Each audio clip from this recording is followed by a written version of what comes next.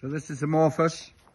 Um, after we've been up the lane and getting them going forward, we come into the uh, outdoor school and trotting around in here. So this is all very good. Just teaches them a few more buttons and we make sure we can have a little trot and a little canter in here. So today she's just having a trot round and all very nice, all very good. And um, yeah, very pleased. So we're all at the right stage with her. So very pleased. That's Morpheus.